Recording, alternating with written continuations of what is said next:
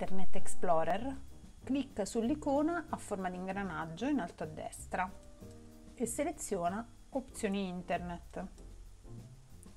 Seleziona la scheda Privacy e clicca sul pulsante Avanzate. Bene, da questa scheda eh, puoi mettere il segno di spunta sulla, ehm, sulla casella blocca per i cookie dei siti web visualizzati ed eventualmente anche solo blocca per i soli cookie di terze parti. Puoi scegliere se accettare lo stesso i cookie di sessione, nonostante il blocco. I cookie di sessione sono quei cookie che ti mantengono ad esempio loggato all'interno di un sito, evitandoti di fare il login ogni volta che accedi ad internet. Finito, clicca su ok di nuovo su ok ed è fatta.